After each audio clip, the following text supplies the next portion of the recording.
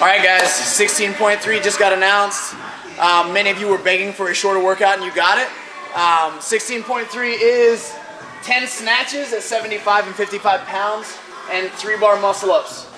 It's gonna last seven minutes, and you're gonna do a lot of reps, specifically if bar muscle ups are in your wheelhouse. And we'll talk about that a little bit later in the video on how to approach it strategy wise. Um, but I do believe that there will be a lot of brutes that are able to put up a obnoxiously high score as uh, I know that we've got a lot of uh, bodyweight ninjas out there and Nick Sorrel has turned you guys into gymnastics freaks. So um, I hope to see some really high scores on the leaderboard coming from our community.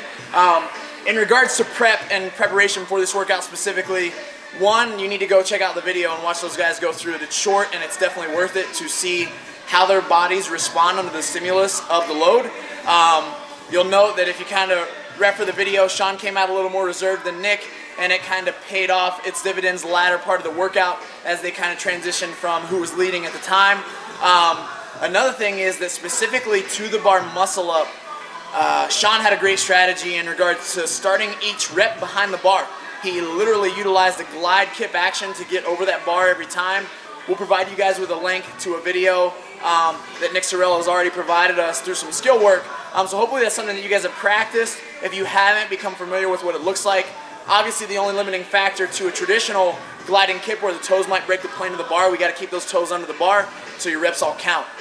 Um, for a warm up for this workout, uh, you definitely want to elevate your heart rate, and we're looking at something above 10 minutes. We definitely want to start some kind of some kind of single modality, maybe row, maybe bike. I personally prefer row for a workout like this because I know that my hamstrings and my lower back are going to take the brunt of the load um, in regards from the barbell work. So I like to get those muscles really warmed up and firing. For me specifically, it might look like 30 seconds on at a high pace, 30 seconds off at a lower pace, or complete rest for maybe 10 rounds. Um, enough to break the seal, get a sweat going, and feel like I'm out of breath. Um, and then after that, I'll recover a little bit and then make sure that you guys are actually opening up the front of your body. I know that your posterior chain will actually feel a lot of this, but um, the tighter that the muscles are on the front of our body, the more of a struggle it will be for us to force them open uh, to reach that full extension of the hip. So I want to provide you guys with a suggested cow stretch up here. Um, make sure that either you're finding it against the wall or we've also had videos from week one and week two that are very similar to a cow stretch just with your knee on a bench. Um, a little bit easier to access some range of motion in that hip. Um, another thing to consider is obviously shoulder and lat uh, mobility and preparation. So really make sure that you guys are doing any kind of lat mobility to open up that shoulder joint as possible. Obviously, we're going to be doing a lot of swinging from the bar.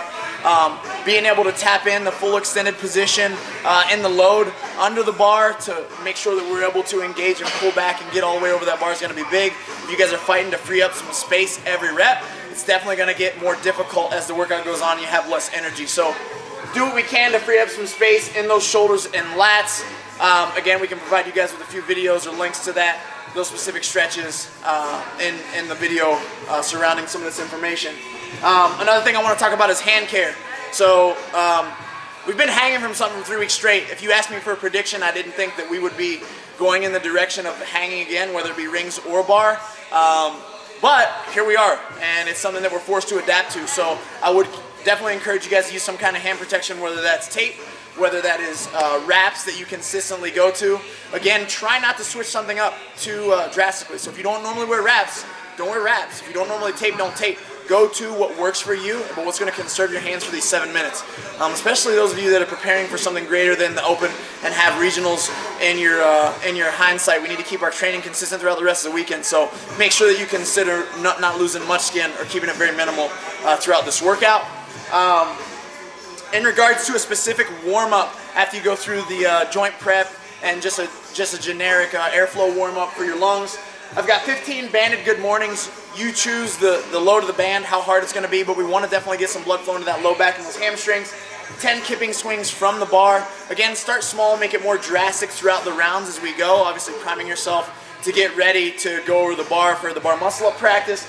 And then I've just got five snatches at an empty barbell weight and I would like for you guys to already start practicing the snatches in such a way that's going to be the same way that you do it in the workout. So if you have in your mind that you're going to muscle snatch the reps, then muscle snatch the warm-up reps. If you're going to power snatch, let's just start even from here with that empty bar that we were continuing to build uh, that consistent neuromuscular pattern that is going to take place in the workout. Then it's just more reaction and less thinking. Um, in regards to strategy for this workout, you notice I wrote grip up here with a few explanation or exclamation points. It's gonna get very grippy very quickly. Um, and you will experience that after you go even just through the first round of uh, the 10 snatches and then hanging from your body weight from the bar. Um, I wrote up here suicide, not to meant to actually go kill yourself in this workout because seven minutes is gonna be a lot longer than most people anticipate. Um, I would encourage you to kind of attack this at the intensity that you would a 2K row. It's not quite an all-out sprint like a 500 meter pace, but it is surely uncomfortable from the beginning, but it needs to be something that is sustainable. These workouts are going to go to the highest scoring athletes that can just sustain a pace that allows them to keep moving throughout. Um, so there will be no holdups, there will be no misreps. Um, there's not going to be a ton of time hopping down to shake out your arms. It's quick transitions, um, very little transition time in regards to wasted movement. Uh, and then you kind of make sure that you just have that energy conservation early on in the first two minutes so that you can play it out for the rest of the five. Um, well, so with the suicide grip more specifically, I'm referring to actually how you hold the bar. Now, this is something that I put into practice back when we did the, uh, the snatch double under workout.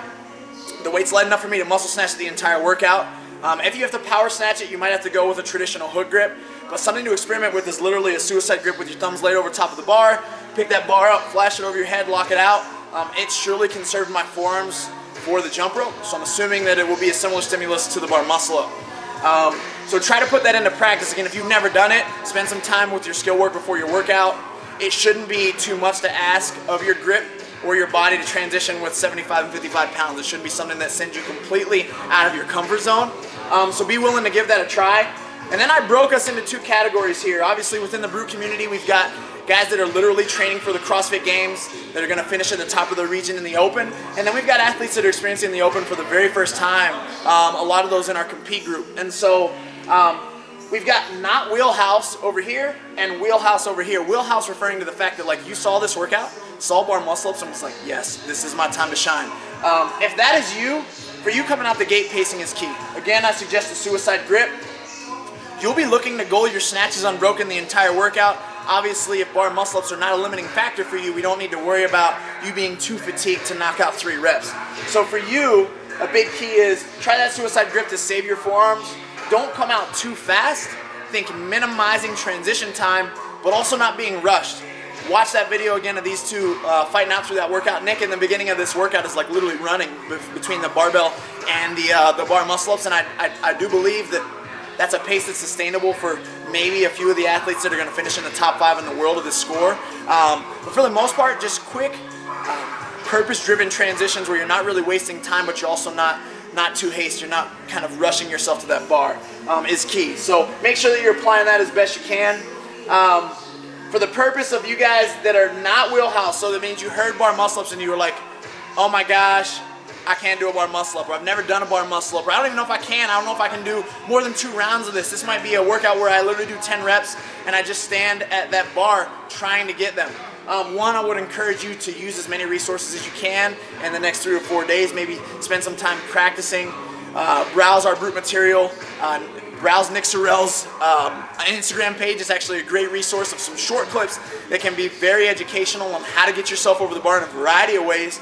Um, so potentially, if it's not just an absolute strength limitation, but more of a skill, get that into practice. Like practice that, make it habitual, do the best that you can um, with hopefully progressing yourself to a bar muscle up so you get through at least one round of this workout. But what I want you to consider, if you know that it's going to be a complete struggle for you on that bar, uh, to break up your snatches, there's really no reason for you to go gun-ho and do 10 unbroken snatches immediately and then go to the, to the bar to just stand there right? So think about conserving energy by breaking it up. We saw a lot of people put up obnoxiously high scores in the workout with these light snatches and double unders in years past that broke them out, broke them up right out of the gate. And myself was included in that. Um, I think we had to do 15 and 15 snatches and 30 double unders, and every round I did eight and seven. And that was like one of my best open finishes ever, and it conserved my grip and it, and it helped me conserve energy for the long term of that workout. So consider this. You surely won't lose uh, a lot of time with just dropping the bar a couple times as long as you're kind of babysitting it to the ground and not letting it get carried away with how many bounces it takes or how many breaths you take between your sets.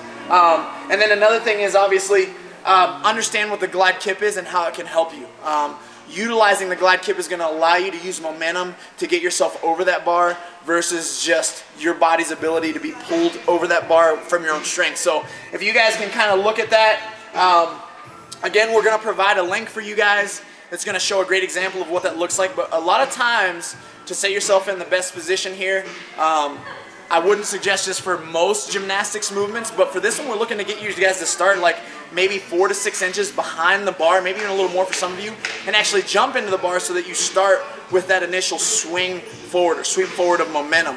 Um, if you were just about to do a ton of kipping reps right after that, you would feel out of control. But because we want to use that forward momentum to help you into your first rep of bar muscle ups, it will help you get some momentum going into the second and the third if you're looking to link them together. Um, an option is if you have bar muscle ups, but you know you run away quickly from them, or it's something that doesn't last very long, consider doing singles. Um, so one glide kip at a time uh, can get a lot of work done, and then seven minutes, guys, like I said earlier, is going to last a lot longer than a lot of athletes are expecting. Those guys came out the gate cooking with grease.